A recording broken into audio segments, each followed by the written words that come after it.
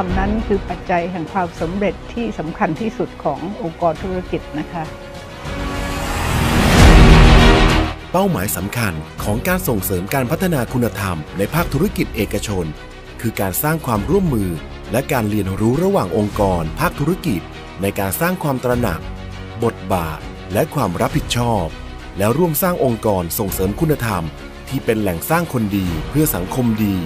คือเป็นองค์กรที่แสดงเจตนารมณ์ และความมุ่งมั่นที่จะส่งเสริมคุณธรรมในองค์กร โดยมีการบริหารจัดการเป็นไปตามหลักธรรมาภิบาล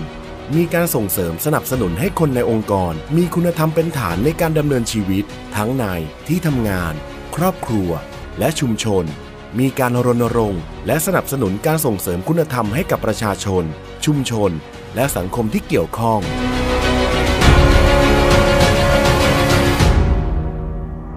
หัวใจสำคัญแรกของการที่จะพัฒนาธุรกิจคุณธรรม ให้กลายเป็นองค์กรคุณธรรมเนี่ยก็คือเริ่มต้นจากที่ตัวเราครับ เวลาที่เรามีการเปลี่ยนแปลงให้กลายเป็นคนที่มีคุณธรรมแล้วเนี่ยมันจะส่งผลกระทบต่อทั้งตัวเรา และต่อทั้งองค์กรในพลังบวกมากขึ้น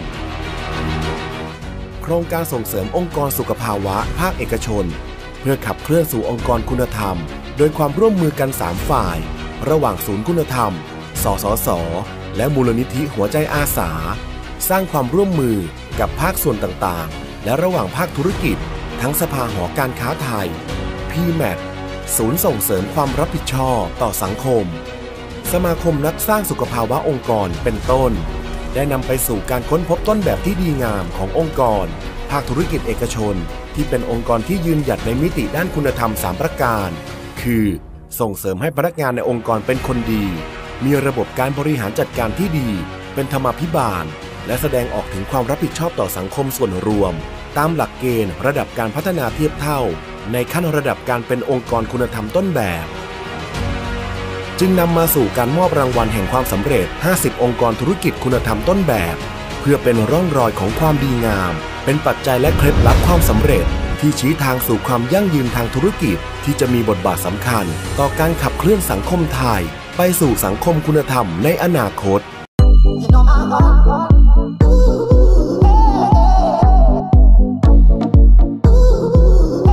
ด้วยความที่ธุรกิจทุกวันนี้มันไดนามิกมาก มีการเปลี่ยนแปลงค่อนข้างเร็วนั้นทุกคนเนี่ยต้องมีเกาะกำบัง ซึ่งเรามองว่าคุณธรรมเนี่ยนะครับเป็นเกราะที่ดีสำหรับทุกคนที่จะปรับตัวให้คล้ายกับโลกใหม่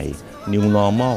disruption ที่จะเกิดขึ้นในอนาคตครับ ก็หลังจากที่เราได้เข้าร่วมโครงการองค์กรคู่คุณธรรมนะครับทำให้มีการเปลี่ยนแปลงค่อนข้างเยอะนะครับพนักงานมีส่วนร่วมกับองค์กรมากขึ้นนะครับส่งผลให้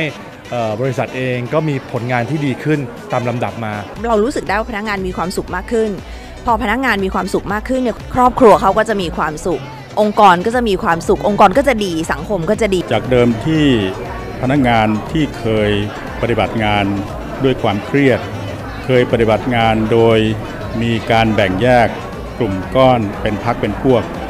กลายเป็นพวกเดียวกัน สิ่งที่มันตามมาอีกอันก็คือผลประกอบการ เรามีผลประกอบการที่ดีมากในปีที่ผ่านมา อันเนื่องมาจากการร่วมแรงร่วมใจของพนักงานทุกคนเนี่ยเราไม่ได้ยึดติดอยู่แค่ความสำเร็จทางด้านตัวเงิน แต่ความสำเร็จที่มันสูงกว่านั้นก็คือเรื่องของจิตใจนะครับมีความสุขอยู่กันอย่างคุณธรรม มันก็จะนำให้เราอยู่เดินไปได้ไกล ไกลกว่าแค่ประสบความสำเร็จทางด้านธุรกิจอย่างเดียว การที่เราเป็นคนที่มีคุณธรรมนำในเรื่องของการกระทำใดๆในการดำรงชีวิต ก็จะได้รับผลดีตามมาการจะทำงานให้สำเร็จได้คนต้องมีความสุข และที่สำคัญคือคนต้องมีคุณธรรม เพื่อที่จะนำองค์กรไปสู่